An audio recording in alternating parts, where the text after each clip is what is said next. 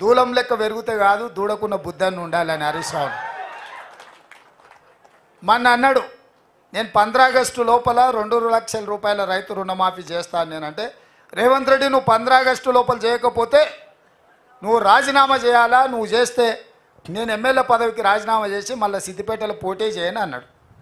నేను ఆ సవాల్ను స్వీకరించి మంచిది హరీష్ రావు గారు నీ సిట్టి జేబులో పెట్టుకో రాజీనామాది. పంద్రా ఆగస్టు తర్వాత సిద్దిపేటకు నీ శని వదులుతుంది. చింతమాడికలు పోయి చింతశెట్టు కింద వండుకో అని చెప్పిన. ఇవాళ అమరవీరుల స్తూపం దగ్గరకు పోయి దాన్ని కూడా ఆయనకి ఎప్పుడు మోసం చేయాలనిపిస్తే ఆ మోసానికి ముసుగు అమరవీరుల స్తూపం దాన్ని వెనకాల దాచుకొని అబద్ధాలు చెప్తాడు. ఇన్ని రోజులు ఎప్పుడైనా అమరవీరుల స్తూపం కాడిపోయిందా ఇవాళ పోయి చెప్తున్నాడు. ఆరు ఈ రైతు రుణమాఫీ కాదు. ఇంకేంటువంటి ఒక కండిషన్లు చెప్పి ఇవన్నీ చేసి ఇంత పెద్ద లేఖ రాసుకొచ్చింది రాజీనామా లేఖ అట్లా ఉండదు. నాకు ఎవరో చూపించారు మొత్తం సీసపద్యం రాసిండు అందులో వాళ్ళ మామ చెప్పిందంతా. రాజీనామా లేఖ ప్రిస్క్రైబ్డ్ ఫార్మెట్లో స్పీకర్ గారు ఒక ఫార్మెట్ ఇస్తాడు. దాంట్లో ఒక్క పదము పొల్లు పోయినా ఆ కాగితమే చెల్లదు.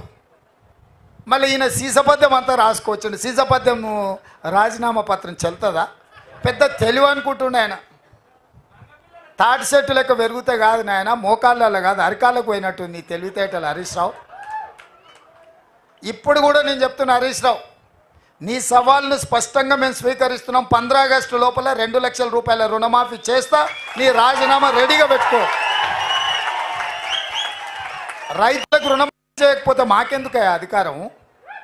ఈ రైతులకు రుణమాఫీ చేయకపోతే ఆ రైతులు ఎవరు? మావోలే కదా. మా మా కుటుంబాలే కదా. మా ఫ్యా మా మా పరివారమే కదా.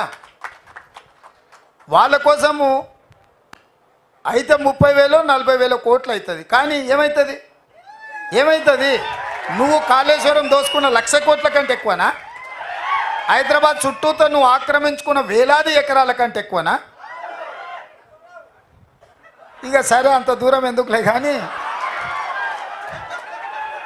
మీ దోపిడీ మీలాగా దోపిడీ చేయకుండా ఒక్క సంవత్సరం నేను కడుపు కట్టుకుంటున్నానంటే ఆ నలభై వేల కోట్ల రూపాయలు బ్యాంకులకు ఎడవసేత్తో చెల్లిస్తాను నేను. అందుకే మీకందరికీ మీ ద్వారా తెలంగాణ ప్రజలకు తెలవాలి. పంద్రా ఆగస్టు లోపల రెండు లక్షల రైతుల రుణమాఫీ చేసే బాధ్యత మన ప్రభుత్వాన్ని స్పష్టంగా ప్రజలకు చెప్పండి. రెండవది బీజేపీ గెలిస్తే ఎస్సీ ఎస్టీ ఓబీసీ మైనారిటీ రిజర్వేషన్లు రద్దు అవుతాయి